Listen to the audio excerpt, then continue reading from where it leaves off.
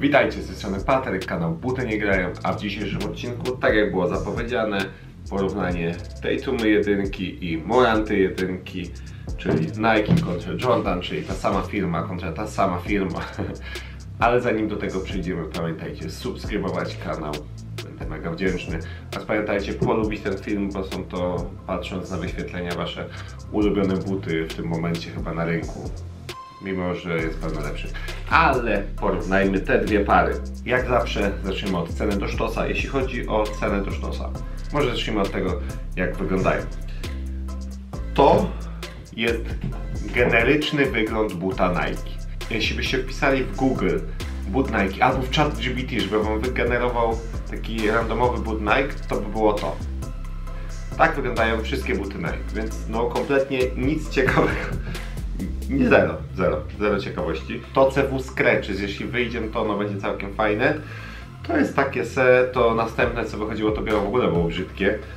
E, Tutaj na żywo dużo fajniej, na żywo dużo fajniej niż na zdjęciach. Mm, To CW jest fajne, fajne jest to różowe. Teraz wyszło jeszcze takie białe St. Louis, ono jest takie zwykłe, nic wybitnego, ale ogólnie uważam, że wizualnie te są dużo lepsze. Jest przynajmniej coś ciekawego. Te są tak nudne, że patrzenie się w ścianę jest ciekawsze. Naprawdę. Jeden, jeden z nudniejszych butów. Nie, że brzydkich, tylko że nudnych. Jeden z nudniejszych butów, jaki jest. Jeśli chodzi o cenę, no to tutaj w ogóle nawet nie ma dyskusji, bo te można kupić, tych nie można kupić. Płacisz resell, więc debilizm. 1 do 0. Kolejną kategorią jest trakcja. Jeśli chodzi o trakcję, to tak, szczerze powiedziawszy, te testowałem tylko na hali i te testowałem też tylko na hali, ale wiem, że tych na outdoorze nie byłbym w stanie przetestować, bo ta podeszwa by nie istniała. Te na outdoorze by przeszły, co zresztą mówiłem i uważam, że tak naprawdę trakcje lepsze mają moranty. Kleją lepiej troszkę ten parkiet, tu naprawdę nie jest źle, ale tu jest naprawdę porządnie, takie dobra półka. Tu jest ok, spoko, nie ma żadnych zastrzeżeń, ale to jest tak dobrze, więc to jest kategoria, w której Moranty wygrywają i jest 1 do 1. Kolejną kategorią w takim razie będzie amortyzacja. Jeśli chodzi o amortyzację, to oba buty tutaj nie są wybitne. Naprawdę uważam, że jest, bo jest, nic wybitnego. Tylko uważam, że ta pianka e, od Jordana tutaj robi lepszą ro- robotę. Nie wiem. Ten but jakoś, jeśli chodzi o amortyzację, to no właśnie friki jedynki, co nie? Tutaj bardziej friki trójki, więc no jest lepiej, jest progres. Tutaj no, no nie wiem, no jest średnio. Średnio tutaj nie mogę dać punktu Morantom i dostaję tej tumy. Jest 2 do 1. No i kolejna kategoria to wygoda. Jeśli chodzi o wygodę,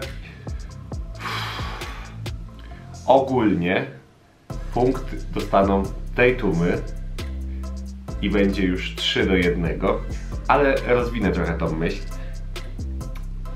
Bo tak naprawdę lepszy potencjał na bycie wygodnym mają Moranty.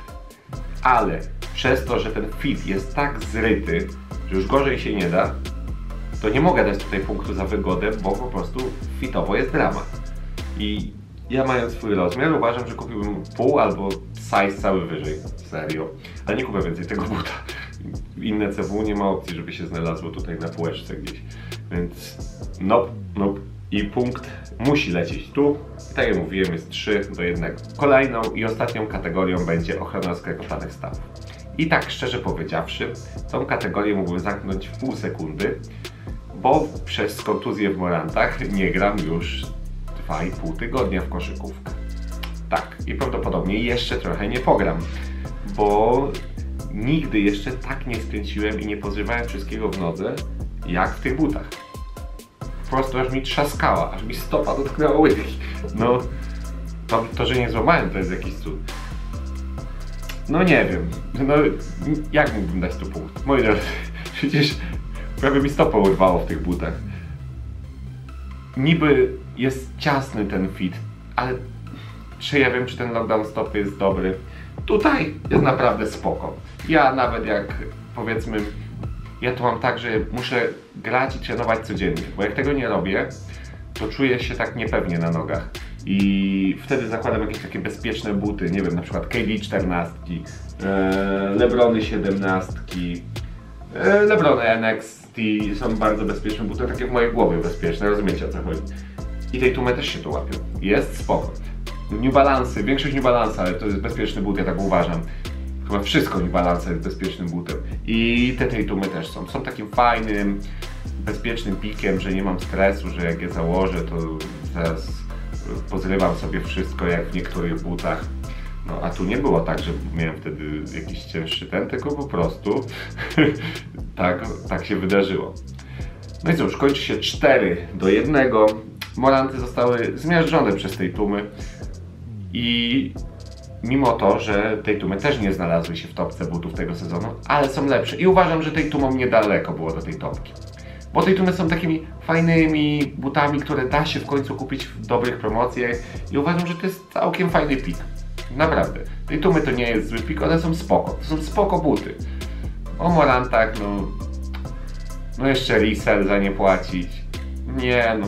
Nie, jak zejdą do ceny poniżej 300 zł, to wtedy ok, ale za resell, moi drodzy, to te buty, to, to jest pomyłka, pomyłka.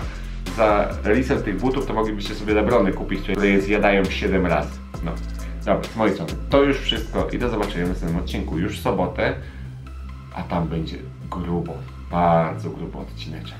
Nara.